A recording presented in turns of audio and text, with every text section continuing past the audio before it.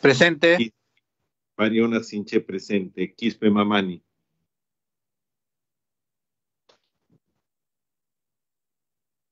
Coronado. Espinosa Vargas. Arriola Tueros. Ruiz Rodríguez. Buenos días, Ruiz Rodríguez presente. Ruiz Rodríguez presente. Uri Valdivia con licencia. Vázquez Vela. Vázquez Vela presente. Buenos días. Vázquez Vela presente.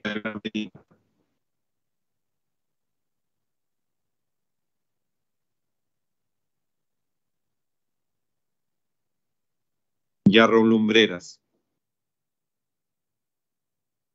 Yarro Lumbreras presente. Yarro Lumbreras presente. Echevarría Rodríguez. Echeverría Rodríguez presente. Echevarría Rodríguez presente.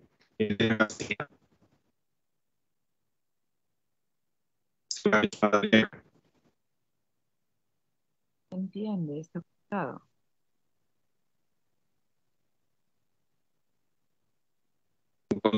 Sánchez Madariaga.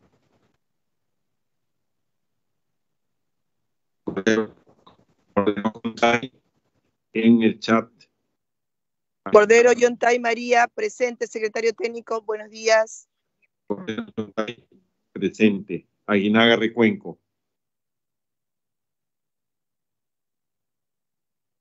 Aguinaga Recuenco en el chat, señora Presidenta. Conforme, señor secretario.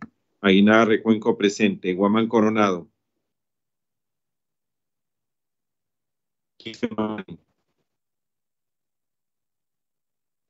Sánchez Coronado. Espinosa Vargas. Arriola Tueros. Herrera Medina. Herrera Medina presente. Herrera Medina presente. Ceballos Madariaga. Ceballos Madariaga presente. Buenos días. Madariaga presente.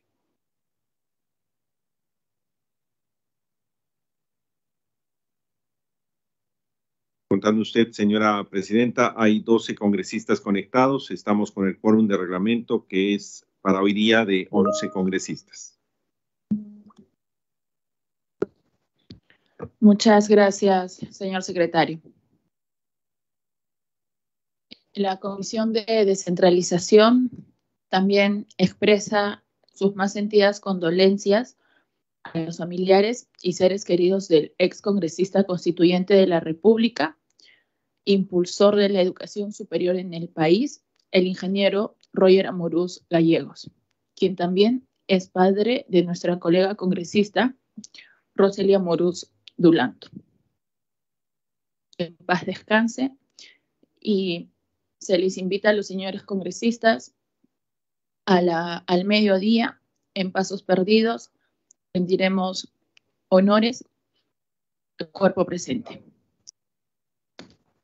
Gracias, señores congresistas.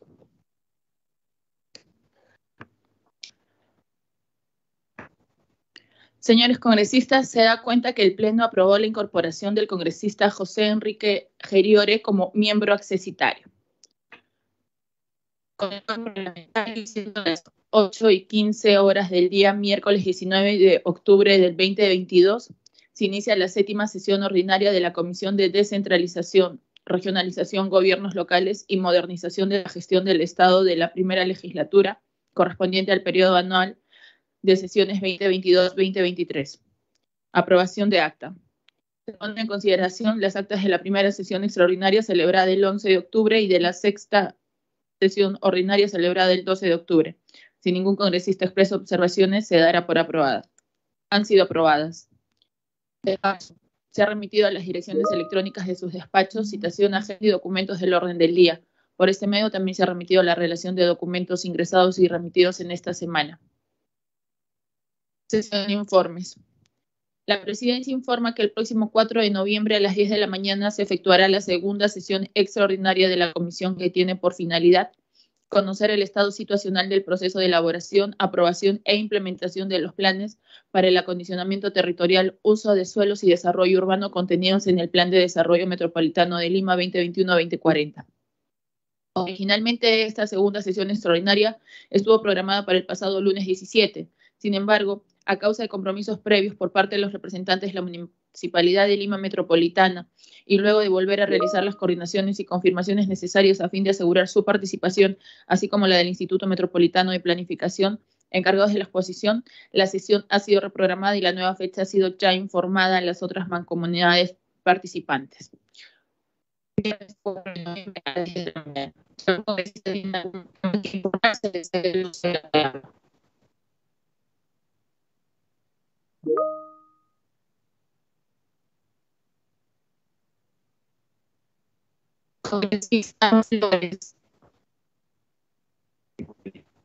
Ah, ok, pasamos a la sección pedidos. Si algún congresista tuviera algún pedido que realizar, se le cede el uso de la palabra. Congresista Flores.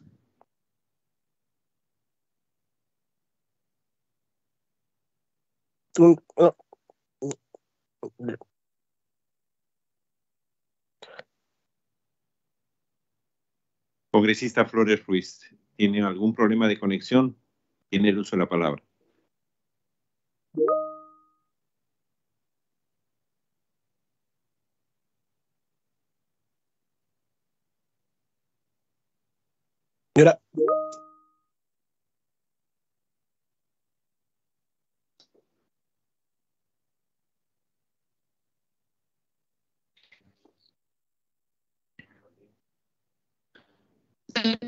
Favor, dar lectura al mensaje del congresista Flores por encontrarse con problemas de conexión. Para solicitarle que en la próxima sesión ordinaria de la comisión se programe la sustentación de los siguientes proyectos. Proyecto de ley 2104-21CR, ley que implementa las alertas de emergencia inalámbricas y establece un registro de delincuentes sexuales. Ley Damaris, decretada esta comisión con fecha 27 de mayo del presente.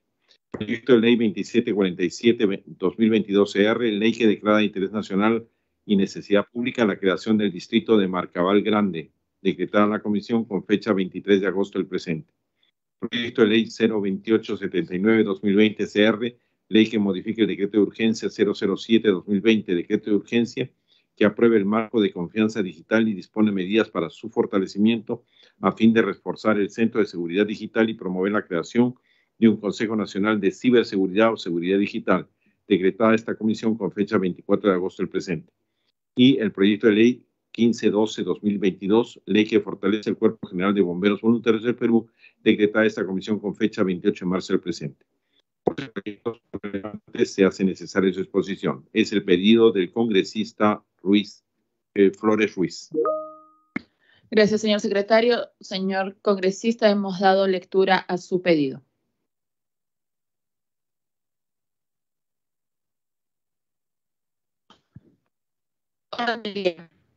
Debate y aprobación del predictamen recaído en los proyectos de ley 1770-2021-CR y 2190-2021-CR, que proponen declarar de interés nacional y necesidad pública la creación de distritos en los departamentos de Ayacucho y Cusco. Señores congresistas, se ha elaborado un dictamen de no aprobación de ambos proyectos, considerando que se ha producido una situación de sustracción de la materia. En el caso del proyecto de ley 1770, que propone declarar interés nacional y necesidad pública la creación del distrito de Cauri en la provincia de Quispicanchis, departamento de Cusco, la materia ya está incluida en la ley 31513, publicada en julio del 2022. Igual sucede con el proyecto de ley 2190, es decir, que propone declarar interés nacional y necesidad pública la creación del distrito de Mayapo en la provincia de Guante, departamento de Ayacucho, materia que también ha sido incluida en la ley 31513. En ese sentido, es pertinente aplicar lo dispuesto en el literal C del artículo 70 del reglamento del Congreso de la República. Se ofrece el uso de la palabra. De no existir intervenciones, procedemos con el voto del dictamen recaído en los proyectos de ley 1770 y 2190. Señor secretario técnico, por favor, de consultar el voto nominal de los miembros de la comisión. Señores congresistas, se va a consultar eh, acerca del dictamen recaído en los proyectos de ley 1770 y 2190.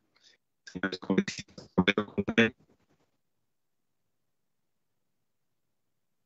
Aguinaga Recuenco.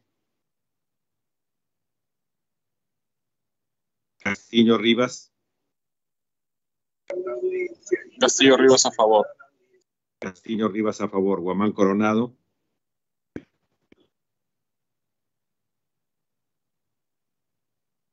Obando Morgan. Señora Presidenta, en el chat la, la congresista Obando vota a favor. Conforme, señor secretario. Obando Morgan a favor. Aguinaga Recuenco también vota a favor en el chat. Mariona Sinche. Abstención. Mariona Sinche, abstención. Quispe Mamani.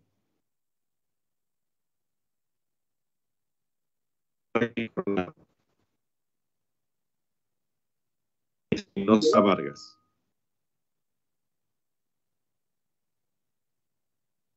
Riola Tueros.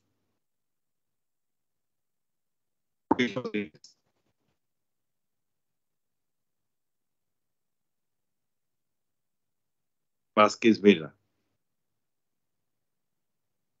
A favor. Vázquez Vela a favor. Herrera Medina. A favor. Herrera Medina a favor. Yarro Lumbreras. A favor. Yarro Lumbreras a favor. Echevarría Rodríguez. A favor. Echevarría Rodríguez a favor. Ceballos Madariaga.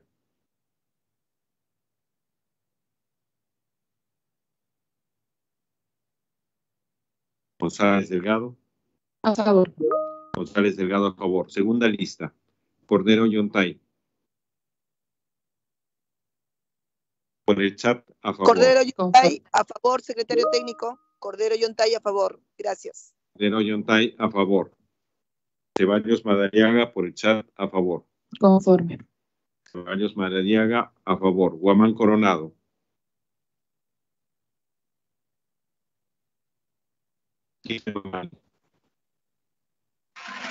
Congresista Quispe Mamani, a favor. Por favor, consignarme asistencia, señor secretario. Quispe Mamani, presente.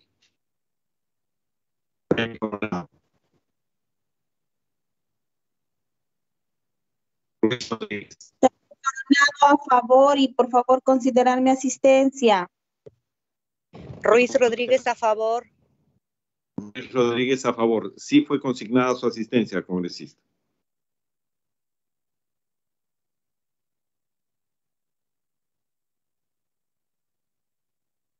El resultado, señora presidenta, son 12 votos a favor, una abstención. Ha sido aprobado por mayoría.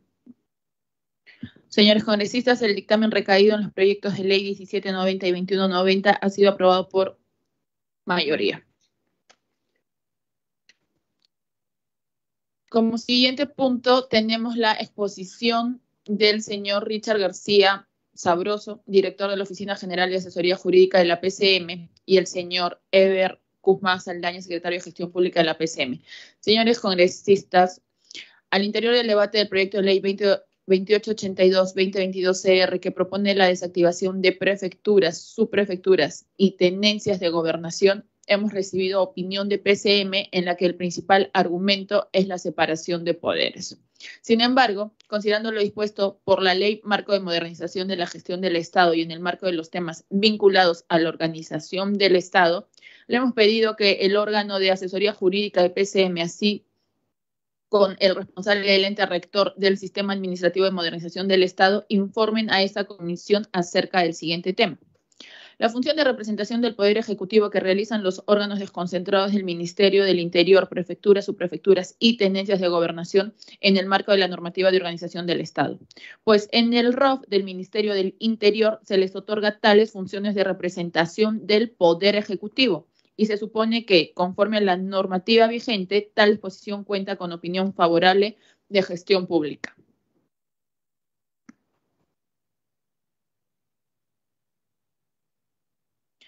Pese a que se les cursó la invitación el día viernes, no hemos obtenido respuesta a la fecha, lo cual nos genera preocupación, ya que esperamos siempre contar con la participación del Poder Ejecutivo para poder obtener toda la información respectiva sobre las materias que esta comisión tiene a bien discutir.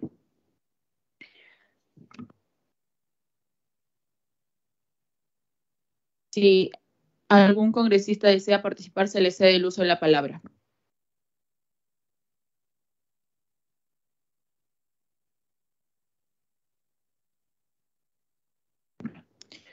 Opinión del señor Rubén Vargas Céspedes, ex ministro del Interior.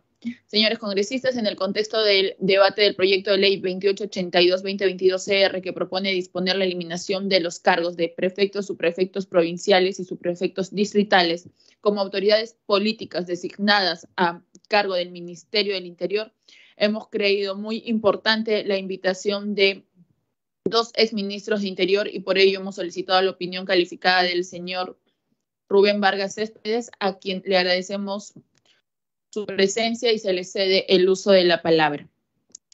Tiene la palabra, señor Vargas.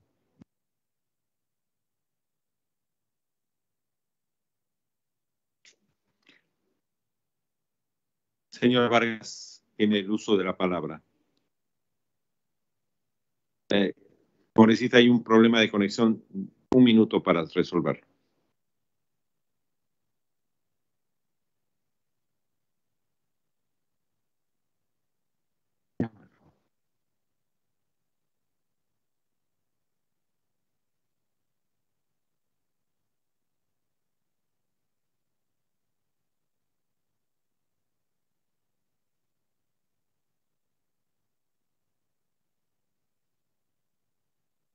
No.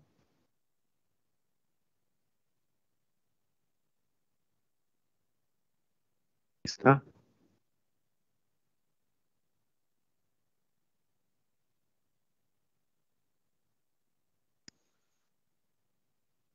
Aló.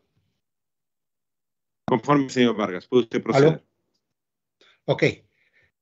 Eh, muy buenos días con todos y con todas señora congresista Diana González, presidenta de la Comisión de Descentralización y congresistas miembros de esta comisión. Eh, tengan todos ustedes muy buenos días. Primero quiero agradecerles eh, por esta gentil invitación para conversar de un tema eh, en efecto bastante importante respecto a el sistema de autoridades políticas y de gobierno interior.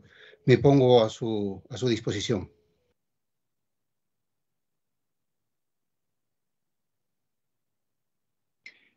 Señor Vargas, conforme al oficio, se le pide una opinión en relación al, al proyecto de ley que pide la desactivación de las unidades desconcentradas como autoridades políticas que dependen del Ministerio del Interior, que son la prefectura, las subprefecturas y las tenencias de gobernación. Queríamos su opinión al respecto.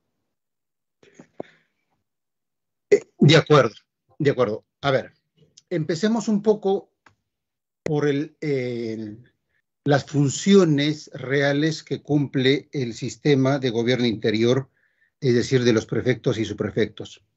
En primer lugar, em, me gustaría comentarles que desde mi experiencia en el sector interior, como asesor de, eh, consecutivo de varios ministros desde, eh, desde el 2001 para adelante, y después eh, de haber asumido cargos de responsabilidad en el Viceministerio de, Orden Interno y también en el Ministerio del Interior, puedo señalarles primero de que lamentablemente el sistema de autoridades políticas, los prefectos y subprefectos, han devenido en una especie de bolsa de trabajo para el partido de gobierno, para el partido que ganó este, las elecciones. Y en general el 90% de los prefectos y subprefectos, es decir, de las autoridades políticas, están, em, eh, son designados eh, personas que, tienen cargos en el partido político de gobierno, principalmente como secretarios de organización. Eh, y esto, esta situación eh, inevitablemente convierte a los prefectos y subprefectos no necesariamente a cumplir sus funciones, eh, que muchas de ellas desde mi punto de vista también han venido ya en obsoletas, a cumplir funciones eh, casi como de operadores políticos del eh, partido de gobierno o del el presidente de la República.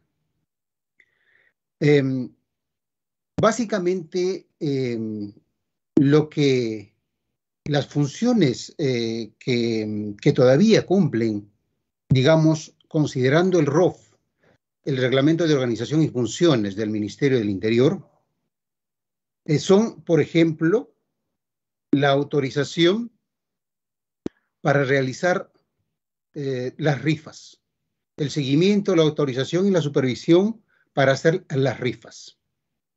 Eh, creo que este, esta es una función sin duda que hay que realizar, pero primero creo que no justifica una función de esta naturaleza para mantener una estructura eh, tan costosa para el sector interior y para el erario nacional, porque probablemente el seguimiento, el monitoreo, la fiscalización de las rifas podría ser eh, una función que podrían cumplir los municipios distritales, provinciales, eh, de acuerdo a, este, a la naturaleza de esta, de esta, de esta rifa que se convoca. Eh, otro de los, otra de las funciones importantes que, este, que realizan los prefectos y subprefectos es la llamada, por ejemplo, autorización para realizar manifestaciones públicas o marchas. Eh, sin embargo, eh, desde mi punto de vista, y hay mucha información eh, que se ha sacado al respecto, es que para el ejercicio del derecho constitucional a las manifestaciones, no se necesita de ninguna autorización de una, uh, de una uh, instancia administrativa. Eh, ejercer un derecho constitucional no puede estar supeditado a la autorización eh, de una uh, autoridad administrativa. Eso definitivamente creo que queda claro. La Defensoría del Pueblo se manifestó en ese sentido eh, y lo que más bien se otorgan son garantías para que pueda ejercerse ese derecho, no para autorizarla, sino para ejercer el derecho. Entonces, cuando nos dicen que estamos esperando que el prefecto, la prefectura o la subprefectura nos otorgue la autorización para realizar nuestra marcha, desde mi punto de vista eso es equivocado porque para realizar una marcha, respetando la ley, por supuesto, respetando la propiedad pública privada, no se necesita ninguna autorización, sino la garantía para que se ejercite ese derecho. Y esa función de garantizar el ejercicio de un derecho constitucional desde mi punto de vista, perfectamente podría cumplirlo, por ejemplo, eh, la Policía Nacional, que son finalmente como fuerza pública, eh, como los que podrían, los que tendrían que este, garantizar el ejercicio de ese derecho. Finalmente, aún con el actual, con el actual este, eh, modus operandi de gobierno interior, las prefecturas o subprefecturas emiten una resolución y, solicitan a la autoridad policial para que garantice el ejercicio de ese derecho. Entonces creo que eh, podría uh, cortarse ese camino y, y, dar esa atribución de garantizar, ojo, no de autorizar, sino de garantizar el derecho a, las manifestaciones o el ejercicio de un derecho constitucional a, este, a la Policía Nacional. Otra de las funciones este, importantes eh, que, eh, que, todavía siguen realizando sin mucho sentido, desde mi punto de vista, el sistema eh, de autoridades políticas desde el gobierno interior, es, por ejemplo, el otorgamiento de las garantías personales. Es decir, cuando una persona se siente, eh, siente amenazada su integridad personal o su vida por dichos o hechos de otra persona, de un tercero, entonces regularmente se acude a las prefecturas y subprefecturas para solicitar la garantía eh, personal. Y en efecto, esa es una de las funciones que se arrastra desde hace mucho tiempo como funciones, como, una de las funciones más importantes de gobierno interior de las prefecturas y subprefecturas. Sin embargo, estas uh, garantías que otorga la, las, los prefectos y subprefectos en realidad no tiene mucho significado, no tiene mucho contenido real, porque las prefecturas eh, per se no están en condición de garantizar la integridad personal eh, ni la vida de las personas que otorgan o que se sienten amenazadas. Lo que hacen los prefectos y subprefectos, y eso es lo que dice el ROF del sector interior, es que solicitan, los prefectos y subprefectos, solicitan un informe respecto a esas amenazas que alega el recurrente a la Policía Nacional. Eh, y la Policía Nacional emite un informe.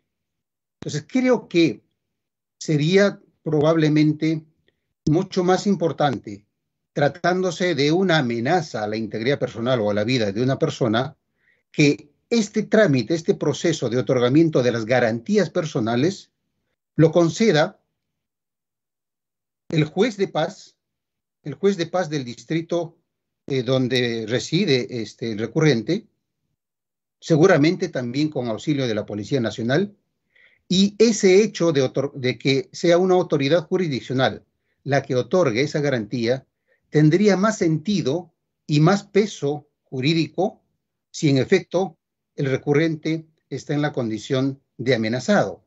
Y creo que eso tendría muchísimo mayor validez para el recurrente que una, eh, una resolución administrativa de una instancia que en los hechos no está en condición, no está en capacidad de brindar garantías a la persona.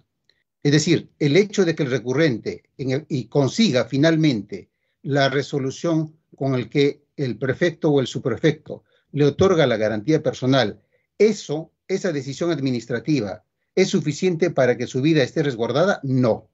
Es simplemente una resolución que no tiene mucho contenido real. Ese es mi punto. Sin embargo, creo que si esa resolución la emitiera un juzgado con el auxilio y la investigación, sin duda, de la policía de la jurisdicción, tendría en términos jurídicos y legales una mayor, un mayor peso y, por supuesto, creo que eso podría ser una mayor garantía para que el recurrente se sienta protegido por el sistema y por el Estado. Entonces, creo que desde mi punto de vista, finalmente, este, como una conclusión preliminar, desde mi experiencia y desde mi análisis a las funciones del sistema de autoridades políticas, señora presidenta de la Comisión de Descentralización, es que es un sistema que ha devenido en, en obsoleto y sin tener funciones que brinden un servicio real a la ciudadanía. Creo que en un, un cálculo, en una suma de costo-beneficio, los más de 60 millones que eh, destina el sector interior para mantener al sistema de autoridades políticas perfectamente se podrían utilizar de manera más eficiente, por ejemplo, dando ese presupuesto a las comisarías para que tengan una presencia mucho más activa en el problema, en el grave problema de la inseguridad ciudadana. Creo que, por ejemplo, eh, toda esa logística, especialmente los locales que utilizan los prefectos y subprefectos, eh, podrían convertirse en comisarías mucho más presentables, mucho más amigables, eh, donde la ciudadanía recurra a buscar la protección de la Policía Nacional frente a los hechos de violencia y de, inseguridad que estamos viendo. Entonces, creo que, eh, insisto, y esto como segunda conclusión preliminar, es que tanto el presupuesto como la infraestructura y la logística que se utiliza en este sistema de autoridades políticas perfectamente sería mejor utilizado desde mi punto de vista por este, las necesidades y las carencias que tiene este, la Policía Nacional. Me quedaría ahí este, para escuchar algunas preguntas suyas, uh, Presidenta. Gracias.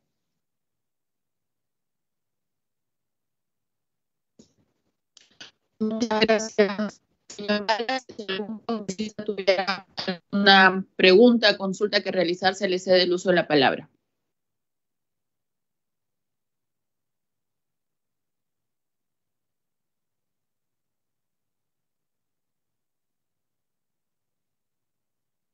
La palabra, señora presidenta.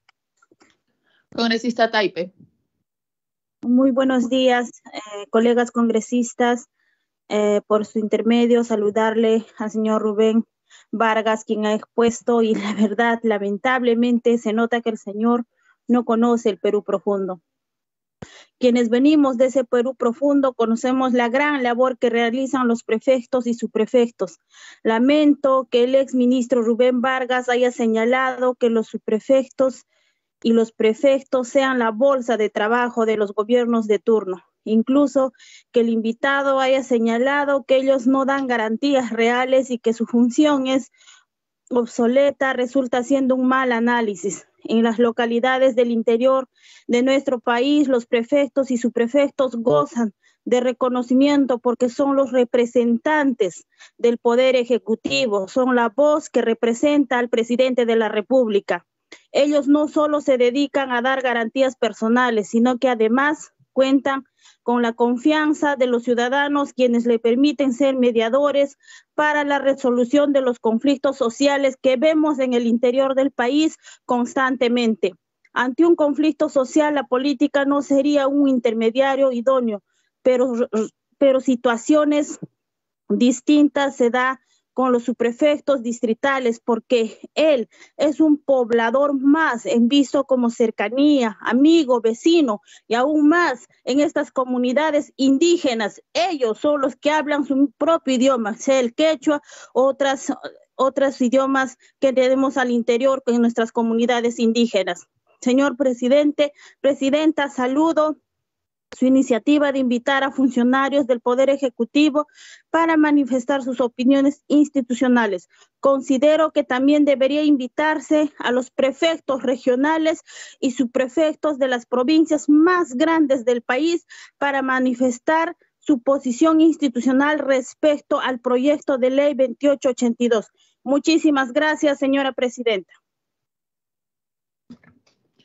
Gracias, congresista.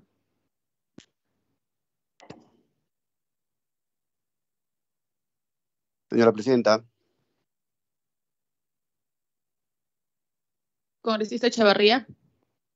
Sí, muy bien, señora presidenta, buenos días. Colegas congresistas, buenos días. Señor Rubén, buenos días. En realidad es importante escuchar las opiniones, pero unas opiniones que sean con certeza y que sean vividas desde el punto de vista de la realidad. No podemos hablar detrás de un pupitre o no podemos hablar tras de una institución que en realidad todo el tiempo viene siendo mancillada. Siempre mencionamos la policía cuando en realidad lo necesitamos. Pero yo, yo la pregunta que hago, dice que el señor Rubén, que el juez daría las garantías. Le pregunto, solo hablamos de los distritos y las provincias. Yo me pongo o le digo o le comparto ¿no? al señor Rubén usted siente que la policía está en condiciones o tiene el numeral o la cantidad necesaria para que se vaya a los centros poblados y caseríos? Creo que estamos hablando de una cosa irreal. En tal sentido, los prefectos y subprefectos han venido desde atrás, son autoridades políticas, les guste o no les guste.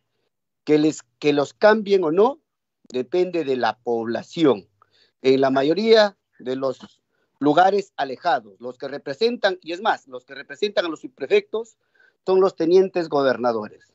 Dígame, ¿con qué, con qué cantidad de policías vamos o va a decir el juez, vayan y den garantía a tal familia? Solamente eso.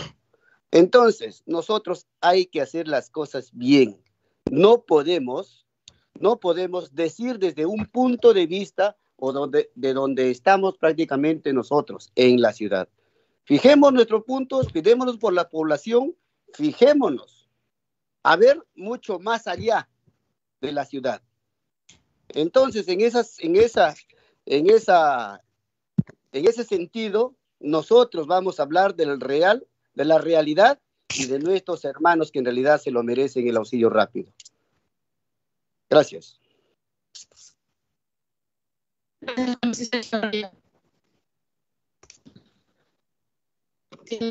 ¿Tuviera alguna consulta, comentario? Presidenta, sí, ¿me, ¿me permite hacer un comentario rápido? Sí, creo que sí, señor Vargas. Gracias, este, Presidenta. Eh, con todo respeto y cariño por los congresistas que este, han hecho sus observaciones, eh, pero los comentarios que hice están sustentados en este, información fáctica. Eh, esa es la realidad. Y congresistas sin ánimo de entrar a un debate, sin embargo, a ver, quiero responder con todo respeto a la congresista Taipe, de que los prefectos y subprefectos, en efecto, suelen ser convocados eh, para ver la problemática de los conflictos sociales, de la conflictividad social. Eh, sin embargo, eh, hay que recordar también, este, Presidenta, de que en el Ministerio del Interior, en el sector interior, existe ahora mismo dentro del reglamento de organización y funciones la Dirección General de Orden Público. Y la Dirección General de Orden Público tiene como única responsabilidad y función prevenir y resolver los conflictos sociales. Y, es, una dirección general del Ministerio del Interior que tiene sedes a nivel nacional. Entonces, creo que para llevarlo de manera más técnica y para que la presencia del Ejecutivo en este problema que a veces se hace muy difícil, que es la conflictividad social, tiene que concentrarse esas funciones y responsabilidades a quienes legalmente y tienen el perfil profesional para atenderlas. Y insisto, en el Ministerio del Interior existe la Dirección General de Orden Público, creada exclusivamente con la función y responsabilidad de prevenir, de monitorear y resolver los conflictos sociales. Ahí hay un número importante de, de, funcionarios públicos, de profesionales que ven el tema de la conflictividad social. Número uno. Este, y dos, eh, también con todo respeto eh, al congresista Chavarría, eh, lo que quiero señalar, eh, Presidenta, es de que, en efecto, las en, en, las provincias y en los distritos están los, los, los subprefectos, en los caseríos, en los centros poblados, mejor dicho, en los centros poblados, en los centros poblados, las funciones de gobierno interior las cumple un vecino, un ciudadano que es elegido por la comunidad, no, y reconocido, por supuesto, sí, por, la, por el subprefecto, pero quien lo elige es la comunidad y se llama el teniente gobernador. Es muy diferente este, a la elección del prefecto y del subprefecto. Los tenientes gobernadores son autoridades comunitarias, reconocidas, por supuesto, por el prefecto o subprefecto, por el subprefecto especialmente. Entonces, sin duda que cumplen una función bastante importante porque precisamente es elegida por la comunidad y tiene esa legitimidad. En todo caso, este, Presidenta, mi punto eh, y mi recomendación es básicamente a partir de que necesitamos tener un gasto más eficiente de los escasos recursos que, tenemos. Y creo que las funciones que están señaladas en el ROF del sector interior para las autoridades, para las autoridades políticas, eh, eh, ameritan ser evaluadas en la medida que esas funciones o ya, les, o ya los cumplen otras, este, otros funcionarios, otras direcciones, como la Dirección General de Orden Público, o podrían ser cumplidas de manera más eficiente y con menor recursos, como dije, los propios municipios, en el caso de las rifas, o los juzgados de paz, en el caso de las eh, garantías personales. Gracias, Presidenta.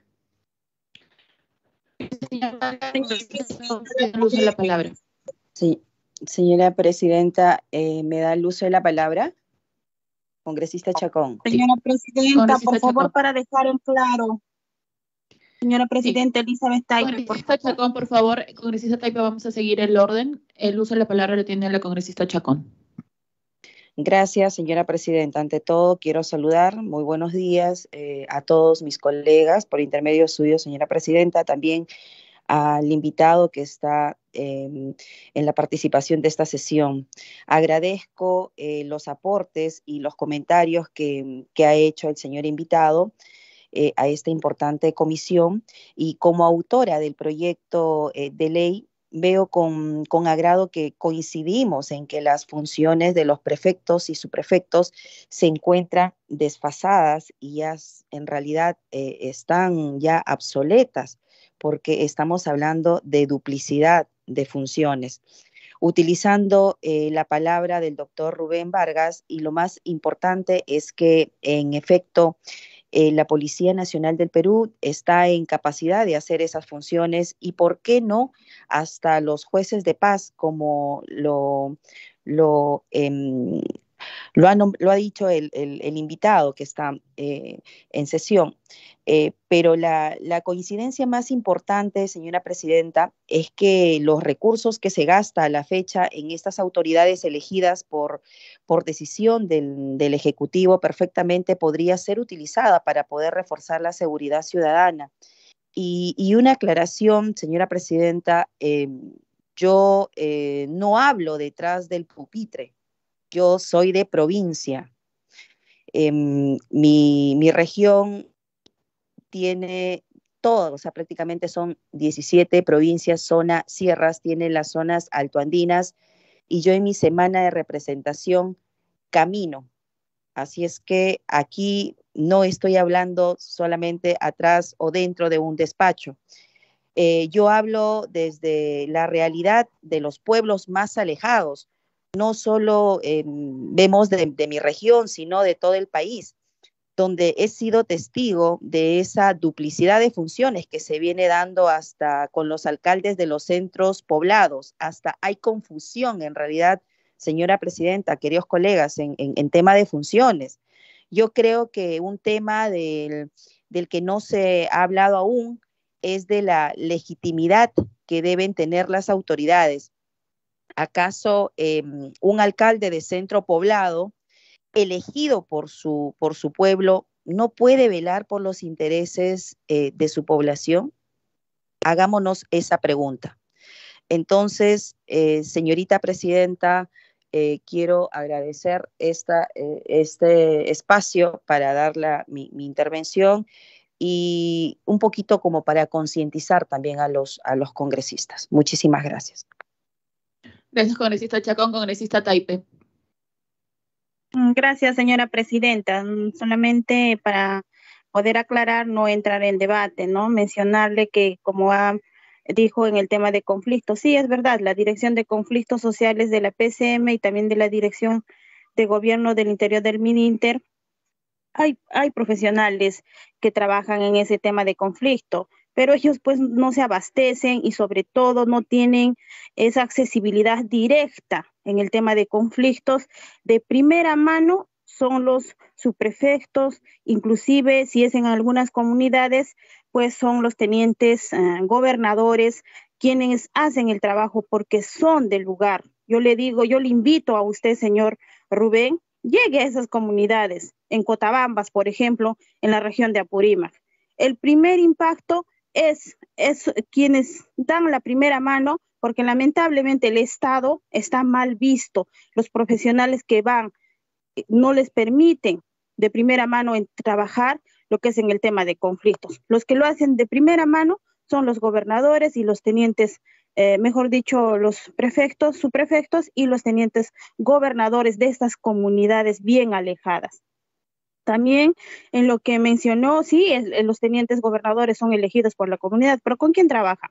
Articuladamente trabajan con los prefectos, con su prefecto ah, distrital. Por lo tanto, pues si nosotros queremos eh, dar unas mejores alternativas, en tal caso mejoremos este, este trabajo que lo estamos mencionando también con la policía, porque la policía en estas comunidades no se encuentran, están en los distritos, pero en los centros, centros poblados, en los caseríos, donde generalmente también hay este tema de conflictos, ¿quiénes están? Están los tenientes gobernadores. Ellos hacen una buena labor. Por lo tanto, yo llamo a la reflexión a los que han propuesto este, este proyecto de ley donde que debemos trabajar articuladamente y mejorar pues eh, mejores alternativas y no así pensar eliminar solamente por temas políticos.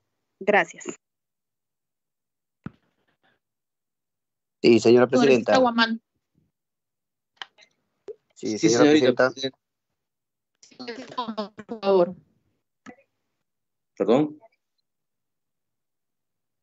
Presidenta Guamán, tiene usted la palabra. Se la ha otorgado la presidencia. Muchas gracias, muy buenos días. Eh, un saludo cordial a usted, señorita presidenta, a los miembros de la comisión. En primer lugar, tuviera bien de consignar mi asistencia. Y con respecto al tema que se está discutiendo, yo creo que debiéramos hacer un poquito de historia del incanato. Anteriormente, quien representaba al Inca en, los, en, los, en las poblaciones más lejanas eran las personas que se llamaban los barayos y tenían autoridad. Luego de eso íbamos avanzando en la historia, en la, en la, evolución, fueron reemplazando por los agentes municipales, tenientes gobernadores, llegando a los subprefectos y culminando en los prefectos en las áreas de mayor, mayor, mayor envergadura. Entonces, yo creo que sería pertinente hacer un análisis, una disquisición pertinente, de repente despojándonos de los intereses políticos y darle la dimensión pertinente al gobernador, teniente gobernador, a los subprefectos y prefectos, que en este caso, en cualquier región donde hayamos visitado, siempre representa al señor presidente de la República. Es cierto que no todos tendrán la misma, el mismo perfil, la misma forma de representarlo. Yo creo que eso está en segundo lugar. Yo estoy de acuerdo con que debieran permanecer estos prefectos perfectos, con la disculpa de mi colega, que en cierto modo discrepo, con todo el respeto que se merece. Muchas gracias. Gracias, congresista Guamán. Señorita Presidenta. Sí, señorita. Claro, todo, toda conversación, toda todo diálogo es bueno, pero como les digo desde un principio, es importante conocer la realidad. Nadie dice que los jueces de paz o la Policía Nacional no están capacitados. Están capacitados, pero como le digo, no para llegar hasta los lugares más lejanos donde la problemática, ¿no? donde los, los diferentes actitudes de problemas familiares también se ven. Entonces, en esa circunstancia, yo, personalmente, que recorro los lugares más lejanos del Perú, como es Cajamarca, Jaén, San Ignacio, ¿no? Y otros lugares más, pero no puedo decir que por ellos he recorrido a nivel nacional y por un poco, o por lo poco que conozco o he recorrido, voy a decir que en todo el país es así. No, no, no. Creo acá las funciones del subprefecto, desde el momento que lo asume, creo que él tiene que respetarlo, ¿no? Y yo le decía esto porque he visto y he recorrido que prácticamente las, implementaciones de las comisarías, las implementaciones que funcionan, donde funcionan las oficinas de los tenientes gobernadores o las oficinas de algunos subprefectos de los distritos, prácticamente lo hacen en su casa porque no hay, no hay la logística necesaria. Entonces, si hablamos desde el punto de vista ¿no? humano, también nosotros hay que poner un poco de nuestra parte, ¿no? ¿Cómo podemos decir, ¿no? que en los, en los centros poblados, ¿no? Lo, lo elige la comunidad? Es verdad. Se ha visto en varios centros poblados que lo elige la comunidad. Pero ¿sabe qué, señorita? En la comunidad prácticamente los, los amigos o tenientes gobernadores están 8, 10, 15, 20 años. Y nosotros necesitamos líderes nuevos que les miren con otros horizontes. Hay que trabajar en equipo, sí, hay que trabajar. Hay que reconocer que nos equivocamos o no, sí, hay que reconocer. Pero no podemos, no podemos solucionar la problemática que ha venido de años antes, ¿no? De la noche a la mañana en, e, en, este, en este gobierno. La, eh, son importantes antes de, de proceder, creo, es dialogar, conversar y vigilar. Yo respeto la posición desde más antes, desde más antes o de los gobiernos atrás. Le guste o no le guste, ¿no? Lamentablemente los subprefectos son la representación del gobierno y por ende, ¿no? No se le puede quitar esa autoridad. Todos trabajamos con el beneficio y el bien de sacar adelante a nuestros pueblos y de que en realidad los conflictos no se den de manera exagerada. Yo invoco, invoco que de repente, muchas veces decimos nuestros héroes, nuestros amigos de la Policía Nacional, sí, cuando lo utilizamos su nombre, pero lamentablemente a nuestros amigos policías, así, están prácticamente abandonados desde muchos años atrás patrulleros no tienen, computadoras no tienen, personal no hay, ¿no? Lamentablemente, combustible no tiene. Esa es la realidad. Entonces, ¿cómo decimos que un juez le va a decir a un policía, anda a tal lugar, si prácticamente no tiene el material necesario? Seamos conscientes y pongamos ejemplos concretos. Pongamos ejemplos concretos y a trabajar con el diálogo, a trabajar todos juntos por el beneficio de nuestro país.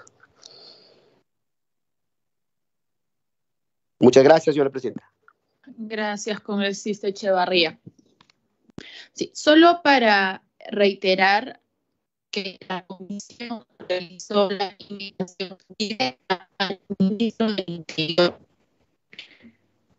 quien puso la presencia del viceministro de Interno por supuestamente un cruce de horarios. Sin embargo, la invitación estuvo para las 8 de la mañana y la sesión de consejos de ministros empezó a las 11 de la mañana.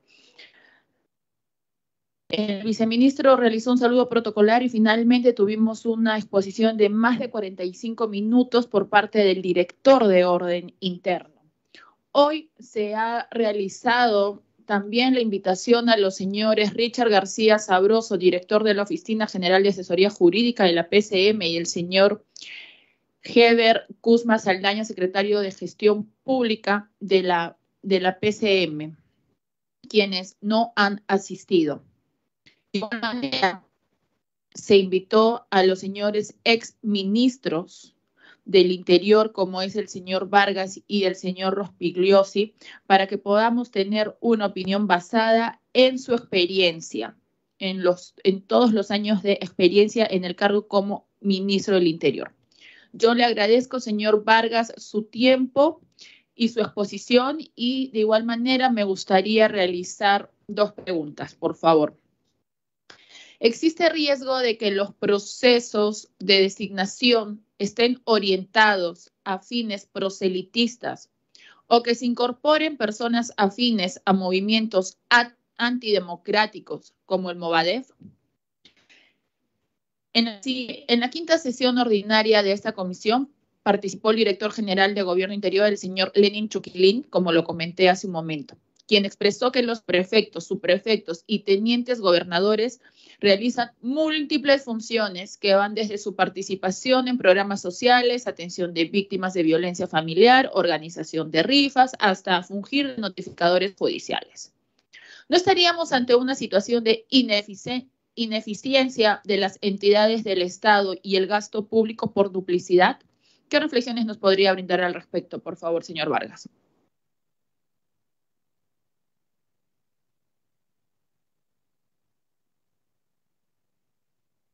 Sí, presidenta. Eh, no, gracias a ustedes por, la, por su gentil invitación. Eh, a ver, sin efecto, eh, como les manifestaba al empezar mi intervención, Presidenta, de que desde mi experiencia personal en el sector interior y además eh, a partir de la evaluación y el análisis, eh, no de este gobierno, ojo, sino de los sucesivos gobiernos, es que terminan siendo designados en el sistema de autoridades políticas como prefectos o subprefectos, principalmente personas que, han, que están vinculadas al partido de gobierno. El 90%, 95% de prefectos y, subprefectos tienen ese vínculo formal de pertenencia al partido político de gobierno. Entonces, sin duda que allí hay un tema este, que tiene que ver con, este, con no trabajar en torno a políticas públicas del sector interior, sino hay un vínculo, una relación mucho más directa con el partido de gobierno. Eso en primer lugar, y eso es información dura, esa es información fáctica que está en los archivos del sector interior de gobierno interior. No es un tema que esté especulando, sino así se han dado las cosas y eso es lo que hay que analizar para saber si es lo que conviene mantener o más bien tomar otra decisión, que eso va, por supuesto, a responsabilidad directa del Congreso de la República. Eso eh, en primer lugar. En segundo lugar, eh, lo que sí hemos visto y con preocupación, Presidenta, es de que se ha estado designando, y eso es además de conocimiento público, porque los medios de comunicación han estado informando también de que se han estado designando en algunos casos a personas que han tenido una militancia o han suscrito adhesión a esta organización conocida como el Movadef. Y en este tema, Presidenta, permítame ser un poco más directo y absolutamente claro. El Movadef es, no, no es el brazo político de un grupo terrorista como es el Partido Comunista del Perú Sendero Luminoso. El Movadef es parte de la estructura del Partido Comunista del Perú Sendero Luminoso. El Movadef, presidenta, nació en la celda de Abimel Guzmán como parte de la estrategia política que siguió este grupo terrorista después de que fuera capturada Abimel Guzmán y el llamado Comité Central de este grupo terrorista. El Movadef es precisamente la ejecución de una estrategia política llamada de guerra popular sin armas, pero es parte de una estrategia de un grupo terrorista que ocasionó la muerte de más de 60 mil peruanos en la década de los 80 y de los 90. Entonces, el Movadef sí es parte de la estructura criminal de Sendero Luminoso y eso puede ser absolutamente demostrado.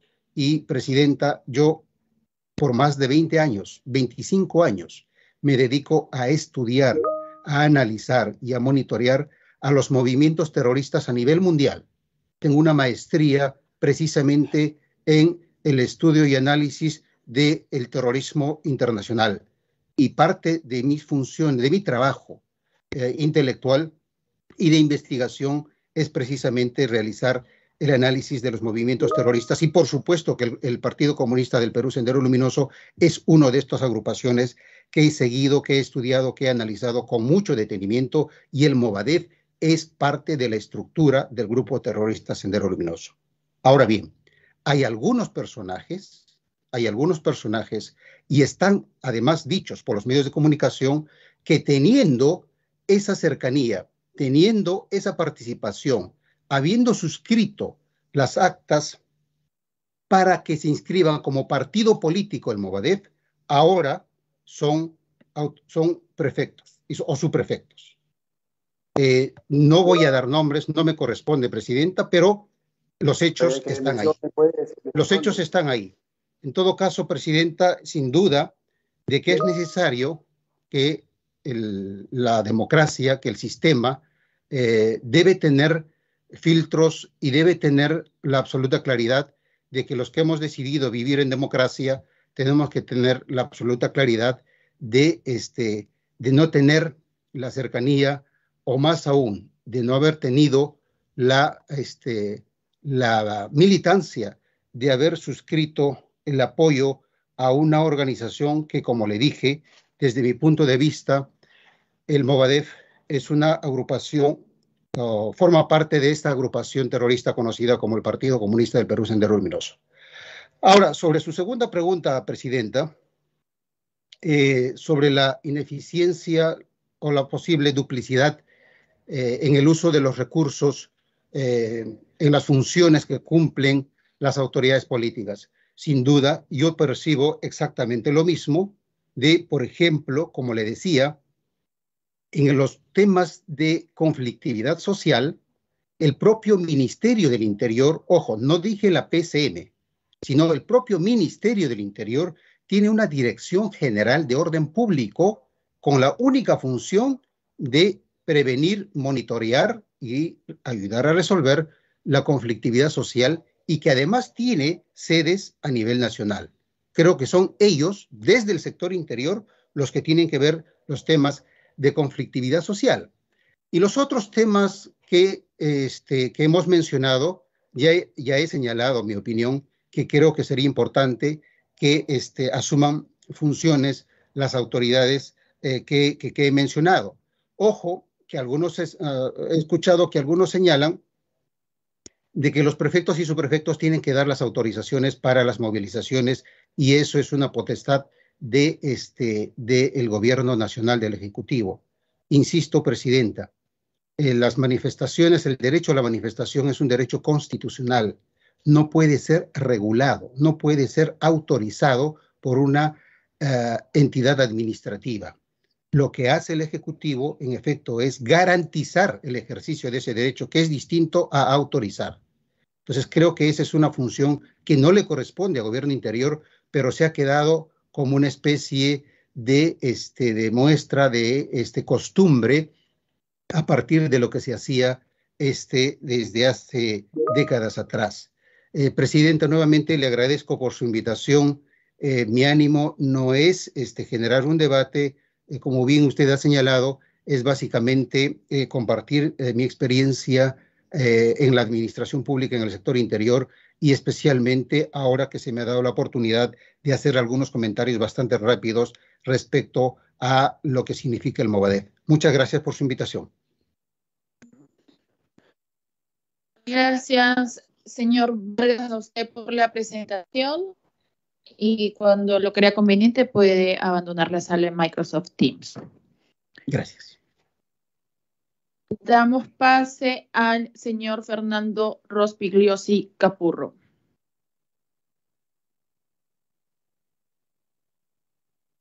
A quien le agradecemos su presencia y se le cede el uso de la palabra.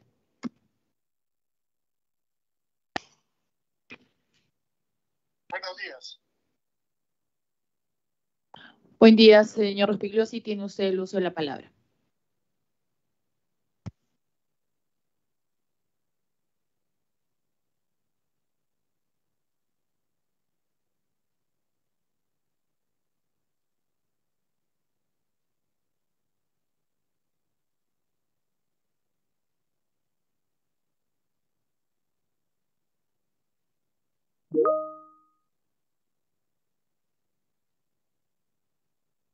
Puede hacer uso de la palabra, señor Ospiriosi.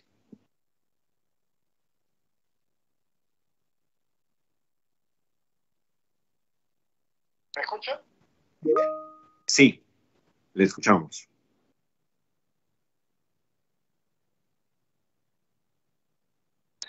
Bueno, eh, gracias. Desgraciadamente estoy fuera de Lima y la conexión de Internet no es la más adecuada.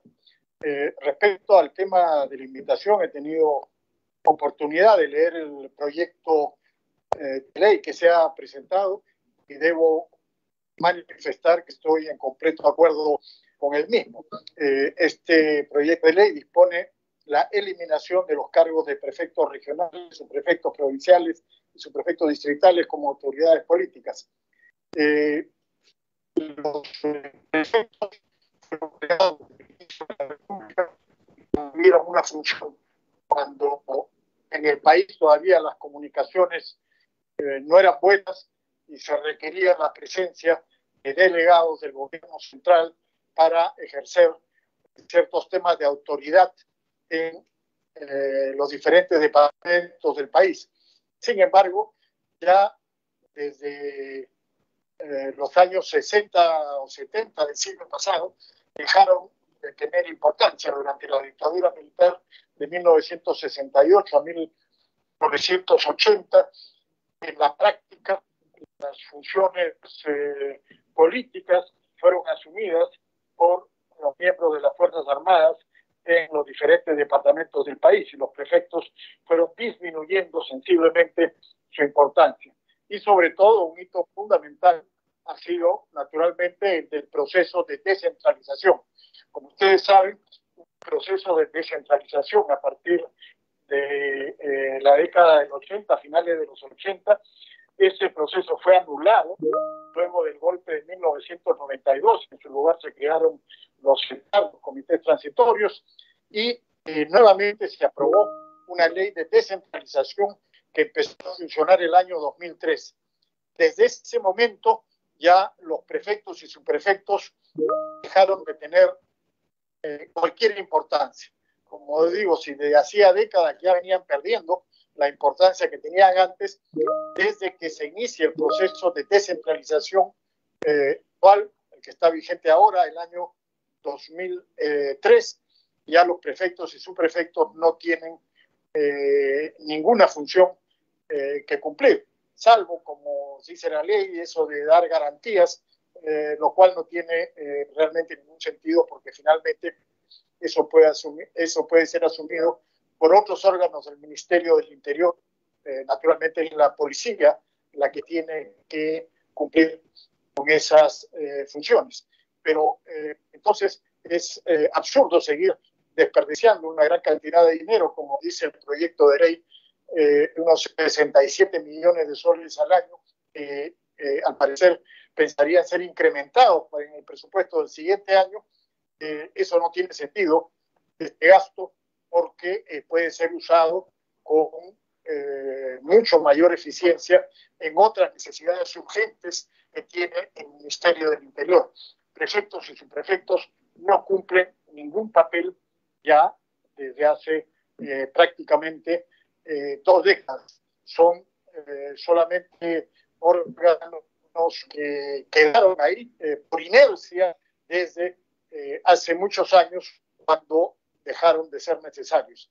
Así que lo que quiero manifestar entonces es mi acuerdo con el proyecto de ley que se ha presentado y espero que se apruebe lo más pronto posible y que eh, el Estado vaya deshaciéndose de organismos inútiles y vaya mejorando su eficiencia, es lo que necesitan todos los peruanos. Muchas gracias, señor Respigliosi. Si algún congresista tuviera algún comentario o pregunta que realizar, se le cede el uso de la palabra. señora, eh, señorita presidenta, el uso de la palabra, por favor, congresista Chacón. Congresista Chacón, adelante. Muchas gracias, señorita presidenta. Eh, bueno, darle el saludo también al, invitado, al exministro Rospiliosi. Eh, bueno, le, habla la autora del proyecto.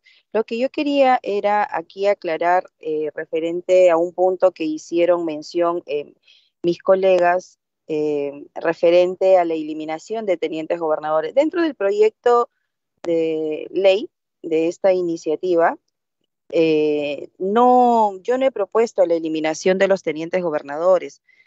Además, eh, señorita presidenta, ¿cómo podría hacerlo si ni siquiera el Ministerio del Interior sabe cuántos son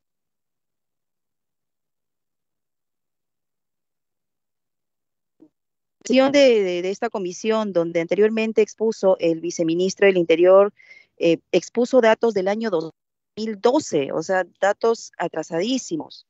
Y, supuestamente la, una de las funciones de los subprefectos es actualizar el registro de tenientes gobernadores. Entonces, ¿de qué eh, se está hablando? Quiero agradecer también, señorita presidenta, la presencia del, invitado, del exministro Raspiliosi. Y bueno, aquí eh, el enfoque está, está claro, ¿no? Es evitar la duplicidad de funciones. Tenemos a congresistas ya de cada región que representan, que representan las funciones, eh, representan a la población.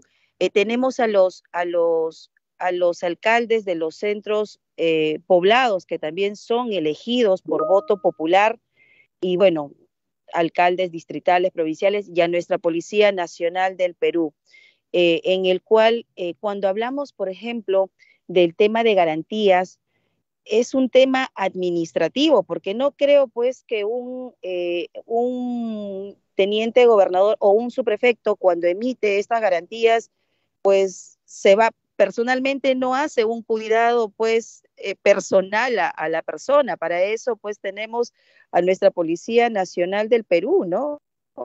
Y este trabajo administrativo, eh, si bien eh, está claro, podría hacerlo pues un, un juez de paz de la zona y también nuestra policía de nuestra Policía Nacional. Y, acá, eh, señorita Presidenta, vuelvo a repetir, y como lo dijo también el invitado, el señor Rospiliosi, hablamos de un tema presupuestario político, señorita Presidenta. Y es un tema también presupuestal, que cuando en el Ministerio del Interior eh, se solicita el, apoyo de poder reforzar eh, nuestra Policía Nacional con temas de patrulleros, con temas de, eh, mejorar la infraestructura de las comisarías que responden que no hay presupuesto, que no hay presupuesto. Entonces, creo que este es el, punto en el cual eh, está enfocado el, proyecto de ley. Aparte también, eh, ya estamos viviendo en un país prácticamente estamos en tiempos de descentralización. Hasta se ha visto también el Ejecutivo ha salido a las diferentes regiones, ha llegado a provincias, eh, en el cual eh, ha hecho sesiones descentralizadas, donde ha acercado al Ejecutivo ante la población. Y entonces creo que tanto el, trabajo del Ejecutivo, que está haciendo su trabajo de representación en sesiones descentralizadas, igual también el legislativo lo está haciendo. Estamos haciendo sesiones descentralizadas, los congresistas en su semana de representación, que es una semana al mes, también están llegando y están llevando esa problemática, la problemática de la población, lo llevamos eh, al, Ejecutivo para que pueda eh, ejecutar y hacer este eh, prevalecer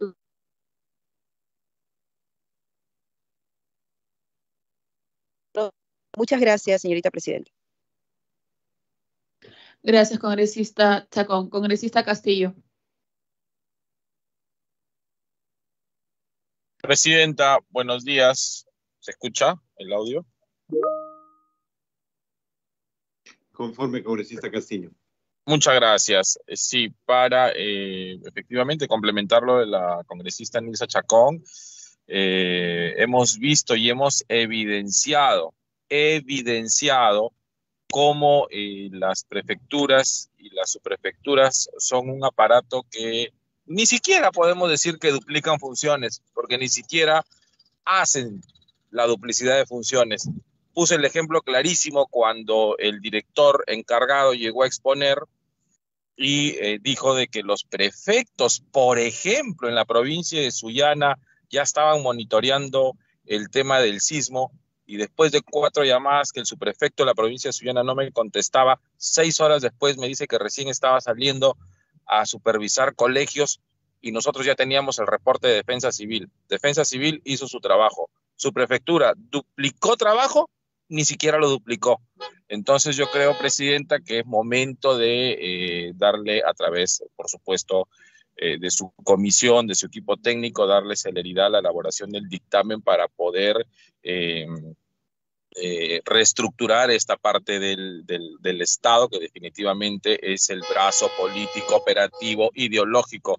No podemos decir otra cosa para quienes tienen dentro de la estructura del Estado a personas afiliadas al Movadef qué es el Movadef y todo el mundo lo sabe, señora presidenta.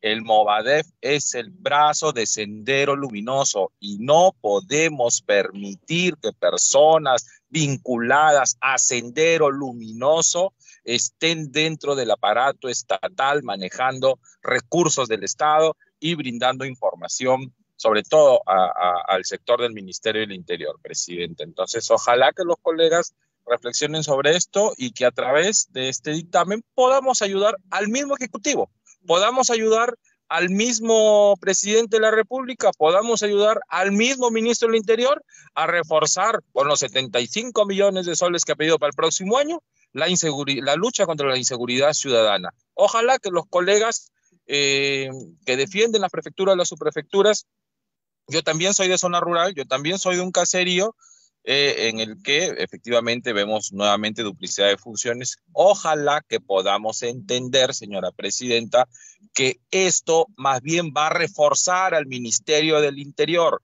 va a reforzar la lucha contra la inseguridad ciudadana, 75 millones de soles que van a ir directo a la inseguridad, a la lucha contra la inseguridad ciudadana no más policías a pie sin motos lineales, no más pocos efectivos policías para monitorear tan, nuestro, tan, eh, nuestra, nuestro territorio. Entonces, Presidenta, ojalá podamos ya trabajar el dictamen y eh, llevarlo a la votación. Muchas gracias, Presidenta.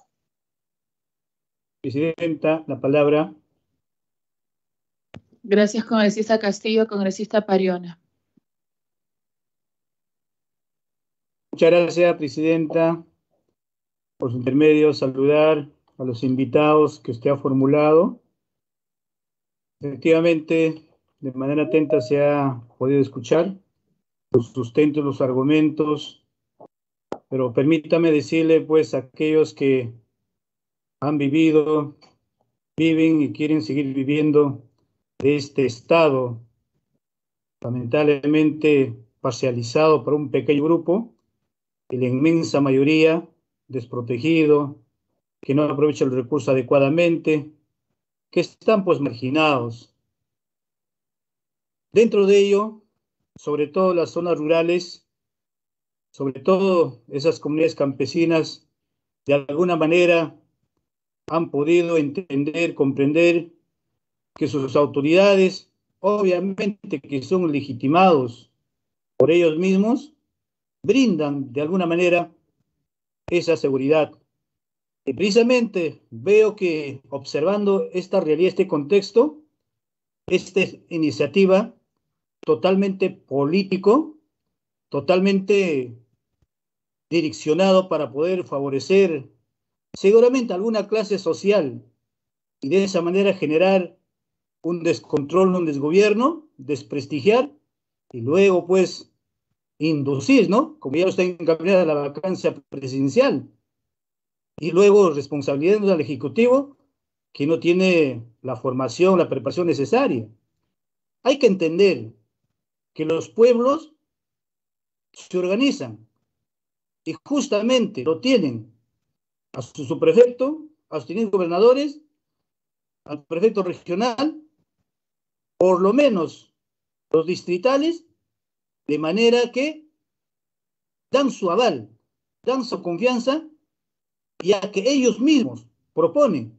Obviamente, como algunos manifiestan, sí, pues hay que entender que estos cargos son por representante del, del gobierno, del presidente de la República. Y así se ha vivido. Y aquellos tiempos que han disfrutado de esa bonanza de poder, de derroche, luego de haber rematado nuestras empresas estatales, regalado, ahí alegremente pues defendíamos el sistema. Hoy deseamos seguir viviendo con ello.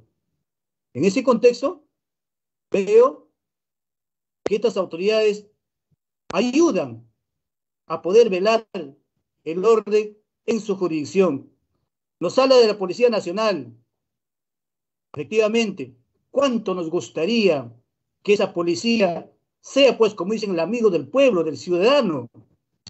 Habrá honrosas excepciones, pero la gran mayoría orientado pues a cuidar este sistema implantado, repito, para poder favorecer a estas castas empresariales, a estas castas que siempre han vivido el gobierno. Claro, con la experiencia que han vivido, que han asumido los cargos. ¿Pero en qué escenario? Este gobierno es por primera vez que está hoy en este espacio, con todas las debilidades, limitaciones. Obviamente, cuánto nos hubiese gustado, con experiencia de gobierno, que hayan, hubiesen contribuido este, a esta construcción de la democracia, pero hoy ellos mismos están los acabando. Se han dado cuenta que su constitución que han preparado en su momento les ha servido, se han defendido, hoy, cuando, como no están en el poder, no, no sirve. Hay que reformular. Bueno, pues empezamos a reformar de manera total. En todo caso, vamos a trabajarlo, pues, que se restablezca la Constitución 79. ¿Por qué no hacemos eso? Falta plata, muy bien, falta plata. ¿Y por qué no cobramos a las grandes empresas deudores de los, de los tributos al Estado? ¿Por qué no cobramos? Ahí está la plata. Telefónica, Movistar, veces el Grupo Romero, Buenaventura. Ahí está la plata. Con eso tranquilamente podemos vivir hasta mejor que Singapur nosotros. Lo repito, como está en manos privadas todo el recurso, todas las riquezas del pueblo, sencillamente pues tiene que estar pagando la deuda externa. El pueblo tiene que limitarse, no tiene que tener seguridad, no tiene, no tiene que tener educación. En ese contexto, habrá momento para poder explayar mucho más. Pero sencillamente digo, estas autoridades que efectivamente son reconocidas entre la población, por lo menos que ayuden a la seguridad, que ayuden a velar la justicia dentro de estas condiciones. Por lo tanto, invoco, más bien, si quieren dinero, repito, hay que generar la cobranza, pues, de las deudas que tienen estas grandes empresas. Muchas gracias. Señorita, sí, señorita presidenta. Por intermedio suyo, quiero indicarle al, al, señor Pariona, con todo respeto, por eso le he dejado hasta el último y no he, cortado su intervención, aclararle un tema. Aquí no tengo, no hay ningún interés de los grandes. Acá no es de que las grandes, grandes empresas Personalmente no tengo ningún interés para ello y este proyecto de ley no está enfocado a ello. Yo la verdad que eh, no tengo de repente, no tengo el, la culpa de que el señor sienta una gran inferioridad de repente personal y lamentablemente eh, pueda él hacer ese comentario referente a este proyecto de ley. Si él habla referente a que tenemos que reforzar que, que, no llegan los presupuestos a las comunidades, eso es bien cierto, señorita presidenta. Es cierto que no llegan las, las comunidades